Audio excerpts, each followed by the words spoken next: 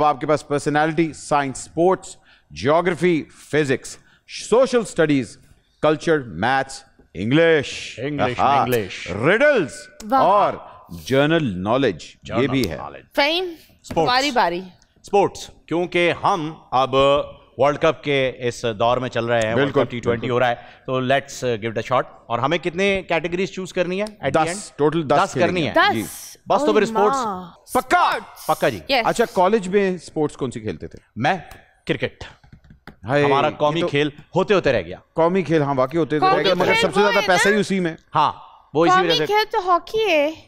Hockey है मगर हॉकियाँ है, पढ़ती हैं खेल है। वही ना। हॉकियाँ सिर्फ़ पढ़ती हैं खेलता कोई भी नहीं हाँ जी। तो इसलिए वो कौमी खेल है जी। एक वक्त हम उसके नेशनल थे। डंडे मारते हैं।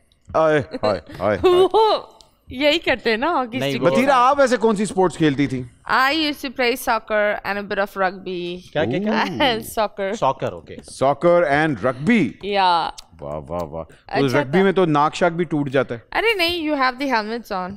ओ अच्छा अमेरिकन रग्बी फिर वो जो फुटबॉल होती है American football American football pretty, it's pretty nice.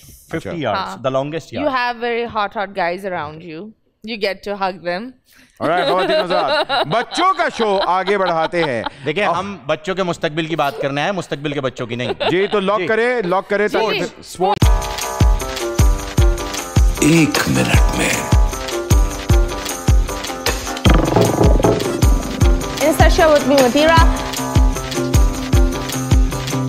आखिरी खिलाड़ी कौन दैट्स द कैच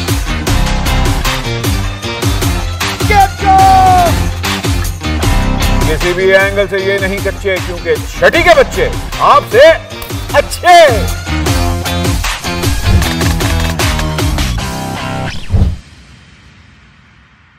सिर्फ़ बोल एंटरटेनमेंट पर। बोल एंटरटेनमेंट के शोज़ देखने के लिए हमारे चैनल को सब्सक्राइब करें और बेल आइकन पर क्लिक करना ना भूलें।